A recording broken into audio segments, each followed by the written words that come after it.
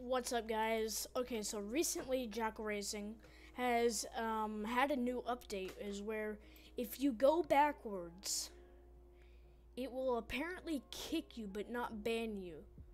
So we are gonna test this theory, as yes, I have gotten permission. I will not hit anyone because I do not want people mad. And yes, I am on an alt account.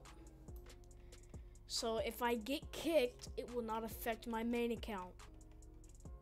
Anyways, um, you may know me as the Jackal Racing Blowovers guy.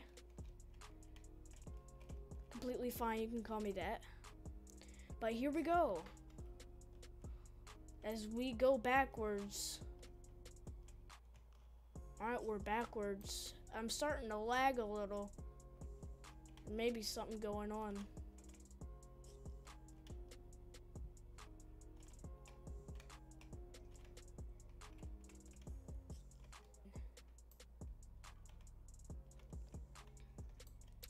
And there you have it. It will kick you if you go from the front stretch to turn 2 exiting out. As you see, you were kicked from the game unspecified reason. As my game is actually crashed as well. So may they might have done a crash thing as well.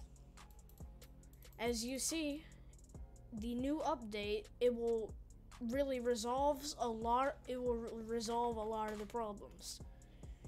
As seen i am black to black and i am out